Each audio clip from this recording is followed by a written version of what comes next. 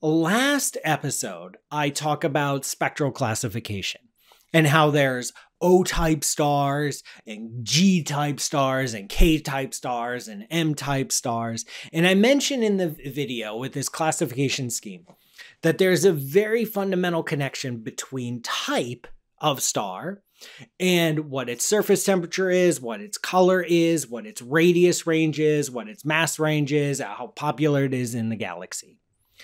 And I mentioned that that connection between the type and the properties of the star only makes sense when the stars are in the prime of their life. And now I'd like to talk about what I mean by prime of their life.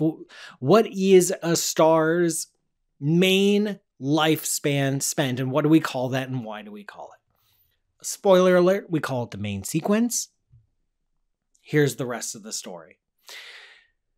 In the early 1900s, astronomers were trying to figure out everything just by staring at a whole bunch of stars and cataloging them and seeing if there were any interesting patterns or relationships or connections. And at first, it was a big mess.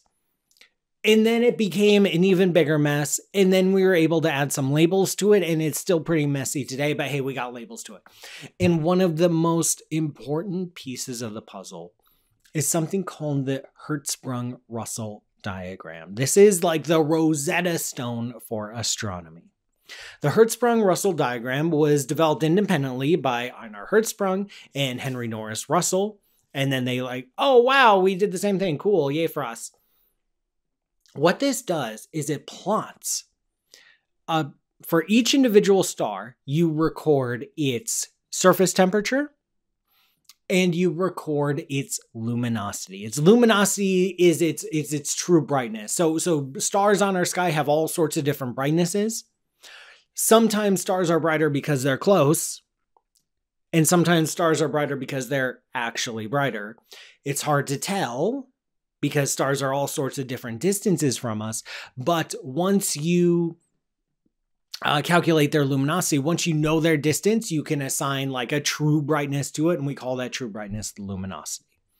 So for every star, you record its true its luminosity, its true brightness, and its surface temperature, and you put a little dot on this diagram. And then you do another star and you put another little dot, and then another star, a little dot, another star, a little dot, another star. And yes, they used to do this by hand dot dot dot dot dot dot dot dot and you see if there's any relationships among the populations of stars between their temperature and their brightness and there is. There is a diagonal strip running along this Hertzsprung-Russell diagram where stars that are redder which means they have cooler temperatures tend to be less bright, they tend to be dimmer. And then stars that are hotter, which makes them look bluer, tend to be brighter. And there's this nice diagonal strip. Now, there are other regions in the Hertzsprung Russell diagram, which I'm going to talk about next week. This main diagonal strip is called the main sequence. It's called the main sequence. And when it was first invented, we actually didn't know like how stars actually worked. And we had thought that maybe stars start off as big and bright and then slowly over time compress, releasing their energy and then end their lives as small dim dwarfs. And so we thought maybe they start in the upper corner of this main sequence and then run down. Turns out that's completely backwards. But hey, those astronomers didn't know about nuclear fusion so give them a break. Once we figured out this magic of nuclear fusion, we realized that this is how stars power themselves. And what happens in a main sequence lifetime is a star forms and it pops, it places itself somewhere on that main sequence.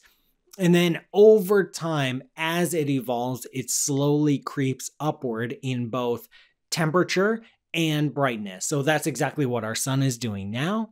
The dinosaurs knew a slightly smaller, slightly dimmer, slightly weaker star. And our distant um, descendants, you know, if, if they're still around, will experience an even hotter, brighter sun.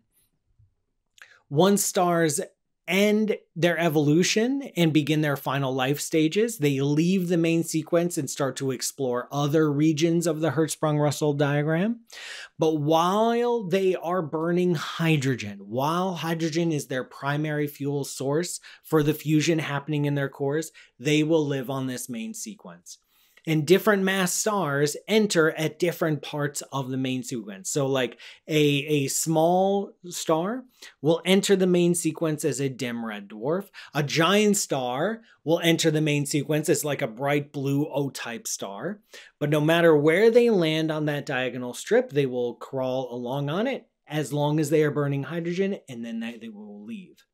And since the vast majority of stars spend the vast majority of their lifetimes burning hydrogen, the vast majority of stars that we see will exist on the main sequence. They will leave the main sequence eventually. But while they are burning hydrogen, they will live on that main sequence. And while they're on that main sequence, we can make the connection between their spectral type, like O type, K type, M type, and their temperature and the luminosity. It's the Hertzsprung Russell diagram that makes it possible. That is the magic of astronomy. There it is. you don't need to do or learn anything else in astronomy. That's it. That's it. I will see you next time when I talk about what happens when stars do leave the main sequence. In the meantime, please visit patreon.com slash pmsutter, like, share, and subscribe, and I'll see you next week.